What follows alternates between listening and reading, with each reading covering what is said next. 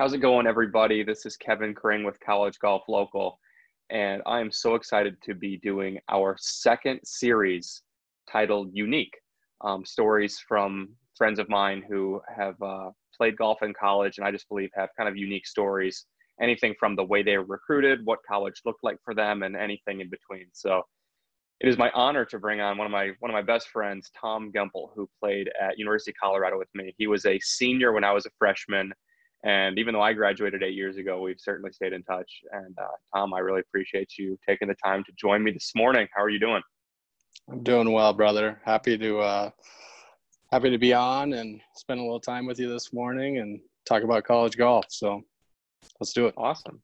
Well, what the kind of the, the point of this series is just to let people know um, college golf local is basically to educate kids and their families, um, specifically in Southwest Missouri, just about what it takes to be recruited. Um, you know not every single person is destined to play division one golf but even if you play at lower levels that's an amazing opportunity.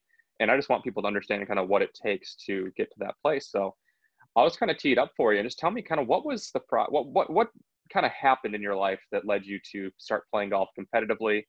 Um, you know when did you realize you wanted to play golf in college? And then being recruited uh, just kind of walk me through those kind of initial stages of your career. Yeah definitely. So I mean, I think my entry into the game was pretty organic and not too dissimilar from a lot of other guys. My dad's a golfer and fairly avid, a single digit, and loves to play. And he kind of just, you know, when I was a kid, used to bring me with him to the course, and it just happened really naturally. I had a love for it. I enjoyed playing, um, and just in general, my family is really competitive by nature. So to kind of meld the two together just seemed super natural and uh, it was kind of a no-brainer really. It was like two of my favorite things in the world to do. So let's let's match them up and and get after it. So um i probably play started playing tournament golf when i was about 12 13 years old probably so you know a middle schooler really and um just local you know colorado junior golf events nothing crazy. I wasn't traveling across the country or doing anything like that yet and uh, just kind of turned out that you know relative to other kids my age uh, you know I was shooting some decent scores and having some solid results. So i think that kind of plays into it too you know something that you enjoy doing then you start having a little success you know makes it more fun you want to keep doing it. Um, so uh, you know then going into high school uh, started again, you know, had some had some more success in the high school level and started to play it a little bit more on the regional and national level at that point, and uh, had some good results. And it just seemed kind of like a natural progression to then want to take the next step and see if I could play in college. So, uh, and beyond that, you know, um, obviously hopeful for a scholarship on some level to help fund going to college, and uh, that may have been, you know, I don't know that any that's any kids like idea or dream necessarily. That idea kind of gets planted in your head by your parents. It seems like they're kind of like, "Wow, it'd be sweet if uh, you know we don't have to shell out tens of thousands of dollars every year to uh, send our kid to school." So, um, yeah, so it was probably I would say you know sophomore junior year in high school I started uh, realistically thinking like, yeah, like I could you know, I'm I'm having a little bit of success, uh, kind of at the state level, and even starting to see some success at the regional and national level. I'm sure there's a place that I could play. You know, not knowing, right. you know, being a little naive, not really being that familiar with the process. I didn't know what that looked like, so it was probably that point in time I started to try and do essentially what you're doing right now for for a lot of people and ask around and figure out how the process works um, what was that? What was that like? Yeah. Did you did you kind of like find somebody who was like gave you specific guidance? Did you just kind of try to just mesh something together? Do you remember kind of what it was like? Did coaches come to you, or did you have to kind of reach out to coaches to get contacts and communication going? Yeah, definitely. So, I mean, I think I think it's super important. It's probably some of the best advice that I could give somebody looking to play college golf is you got to be really proactive um, and really i think you know unless you're one of you know the six or ten ajga all american type players i think you really got to be active in making first contact with coaches um, so I was fortunate. My high school team was pretty successful here in the state and had uh, probably two or three players that were like seniors or upperclassmen on the team when I was still an underclassman that went on to play college golf. Um, two of them kind of at the you know division two junior college level and then one of them uh, was really good players in the class uh, class before me who i know you have a little bit of familiarity with matt bordas uh, went on to play at arkansas and then at texas and so i kind of you know borrowed and stole from him a little bit and i was that you know annoying kid that wanted to basically do what he did because he was a little bit better than me and a little bit older than me so um, that's probably how I got started. I mean, I know back when I was, you know, that age, I'm not sure how much of a big deal it is now, but Ping like put out a college golf guide every year. Uh, I don't, you know, it was in print. Everything's electronic now. I don't, I don't know if they're still doing it, but uh, yeah, it literally had like a list of contacts for like every coach in the country, and like I said, being naive at that point, I'm like looking at Georgia Tech and Arizona State and these real blue chip programs, you know, dreaming of of stardom and you know just the sexy yeah. sexy schools and the sexy did you did so. you reach out to those schools and were like told thanks but no thanks or did you just kind of let that be like oh that'd be cool maybe one day they'll reach out to me definitely so what i did was i honestly you know, I picked literally like 150 or 200 schools. It was a lot, and uh, I remember listening to one, you know, one of your previous interviews with Coach McGraw from Baylor, and you guys were talking about casting a wide net. And so that's kind of what I did initially was I sent out, you know, a cover letter, resume, um, and kind of a schedule to literally like 200 coaches, 200 schools that I thought I would have any remote interest in playing for their school. I gotta say and, that might be the wide that might be the widest net I've heard of so far. So yeah, totally.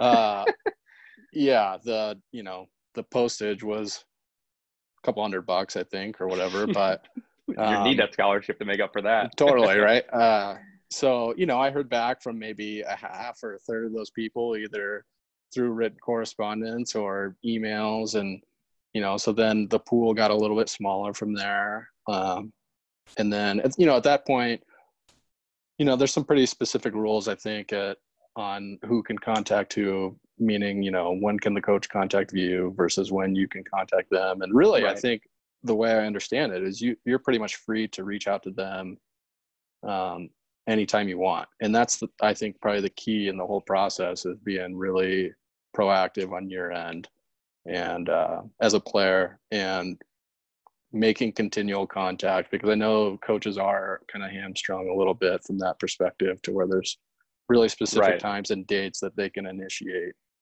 Right. So tell me you. what what what kind of what did it look like for you to take from this really wide net to not even just get it really narrowed down, but then make your decision with where you went to? What was kind of the totally you know, the, the the short story of that kind of condensing and happening? There? Yep. Well, so I would say I'd probably preface that by saying and and you realize this hence the name of the series is unique i think you said right? I mean each each person each player's circumstance is going to be completely unique to the themselves. I mean uh, so for me um, essentially what happened is i you know i ultimately kind of made the decision i wanted to not necessarily stay in state but definitely stay closer to home. Um, so geographically, kind of narrowed it down from there to some, you know, some states kind of here and um, in the region. I'm I'm in Denver, Colorado, so you know I was looking at like New Mexico, New Mexico State, um, some California schools, the Colorado schools a little bit, and uh, ultimately I just had a really cool opportunity pop up at University of Northern Colorado, um, where the head coach at the time was Wally Goodwin, who in college golf uh, circles is fairly well known from his days coaching at the University of Stanford, where he, you know, he coached several really high caliber players, one of which I know everybody has heard of, uh, being Tiger Woods. Yeah. So, as a 17 year old high school kid getting a call from a coach like that basically just carries a lot of cachet. And as soon as i kind of heard from them i was uh i was in you know he he had me kind of hook line and sinker. Um and i was just really excited to to draw from his knowledge and experience and um, yeah. So, so, I mean, so tell me, yeah, Northern Colorado is you know a little bit smaller of a school. Did you pick Northern Colorado over some possibly bigger Division One, you know, Power Five type schools? I did, yeah. So not necessarily uh, Power Five, but definitely like some schools like New Mexico, um, Santa Clara, uh, some schools like that. So I guess you would consider them mid majors, but definitely Power yeah. Five school or uh, excuse me, Division One schools and um, Northern Colorado was kind of in a, in a unique situation at the time. They had just begun to transition uh, to Division One from Division 2 mm-hmm. which is kind of how Wally ultimately came on board. He had been retired for a couple seasons from Stanford uh, and was a rancher up in Wyoming at this point and had some ties. I think he even attended Northern Colorado, like you know, back in the day, like we're talking like in the 50s. Um, and he agreed to essentially help them build and launch their program and uh, hopefully turn it into a, you know, a somewhat successful division one program. So. Right. Now, so tell me, yeah. you know, you, I know you, I know you end up at Northern Colorado. Um, you know, kind of, if you can just briefly kind of summarize your first couple of years there and then what it, what, what things looked like for you from there, basically. Yeah, definitely. So, you know, I think uh, obviously it's a completely new experience being a college freshman. I mean, it's exhilarating and, you know, I don't know if scary is the right word, but it can be intimidating a little bit. It's just new, right? So you don't know what to expect. Um, I didn't know any of the guys on the team really at this point. You know, you don't really know how good they are, et cetera. So I was just, you know, when I got there, I would say excitement is probably the uh, the word that I would use to describe it all. It's a little bit overwhelming, just in that everything you're doing is new. Uh, you know, you're you're much more independent at that point. You're responsible for your own time and managing your own time. And granted, you do have resources at your disposal, but um, it's definitely it's definitely just a you know another step up in terms of right. maturity and discipline, et cetera. So I think yeah. I kind of lost your question there a little bit, but it's okay. I was just what what was the, like the first couple years because I know you know you didn't yeah. finish your career at Northern right. Colorado. So what was that kind right. of what led to the transition, and you know how did you make your choice on where to you know go to school next, that sort of thing. Totally. Thanks. Um, so, like I said, so Northern Colorado was transitioning to Division One, and essentially because of Wally, they actually were able to compete in some relatively big tournaments, given that they're completely new to the scene in, in Division One. So, um, you know, my first year there, it probably took me the first two or three events, uh, or halfway maybe through the fall season to to even crack the the top five traveling team. Um, but then once I did, I was pretty, you know, pretty a pretty regular traveling member uh, with a few exceptions, and ultimately just got better and better over my two years that I spent there. So you know, I'd say my first season there was very unremarkable. Um, I was, you know, ultimately probably the fifth best player on the team, and you know, a very mediocre to below average scoring average, I would say, for like a Division One player.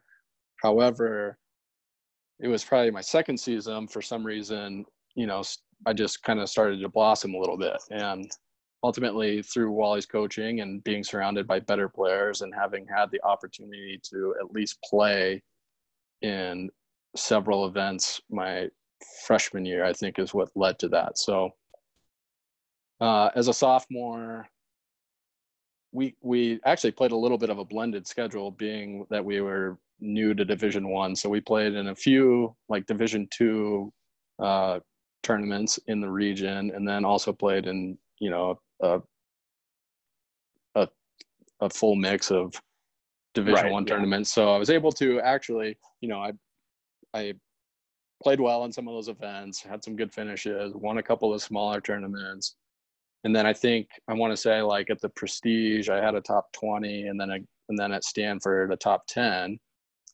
and ultimately beat some guys you know some really good players and that kind of what really boosted my confidence level.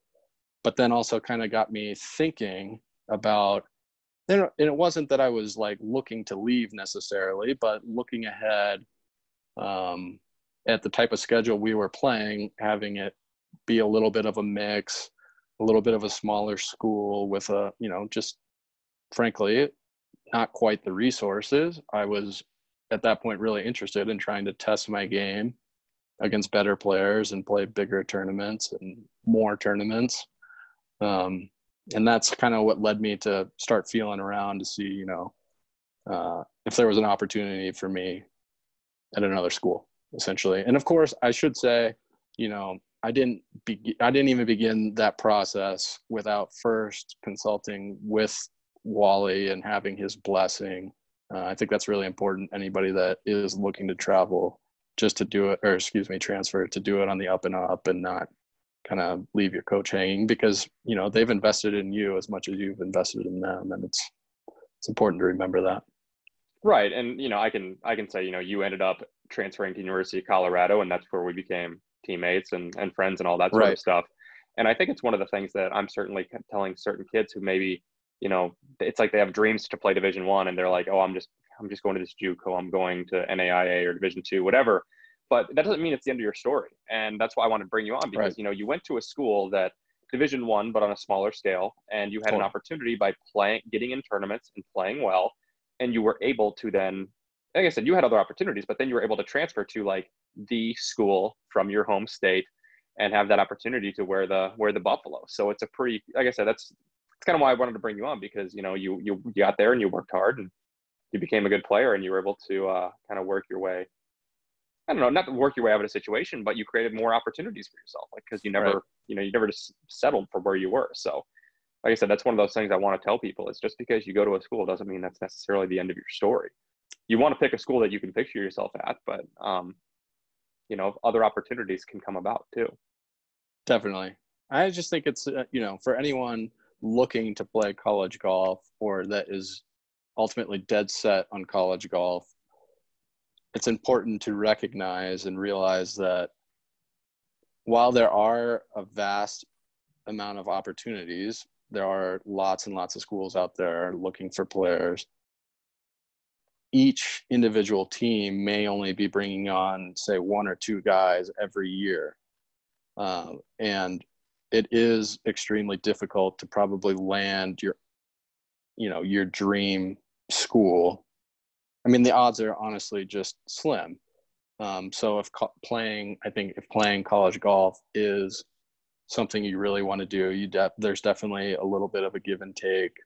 Um, you know in in where you play you got to be you got to keep an open mind and be willing to you know ultimately maybe not go to the school that you grew up dreaming of going to Right, absolutely. Um, I got one last question here, and then I'll let you go. But just you know, Yep. looking back on your time, is there anything you would go back to young Tom Gempel and tell him? Maybe it's a you know start sending out this wide net earlier. Um, you know, not like a different school, but just like to make the process maybe easier for yourself or your family, or I don't know anything like that that you would either tell tell your a younger version of yourself or you would tell a kid nowadays.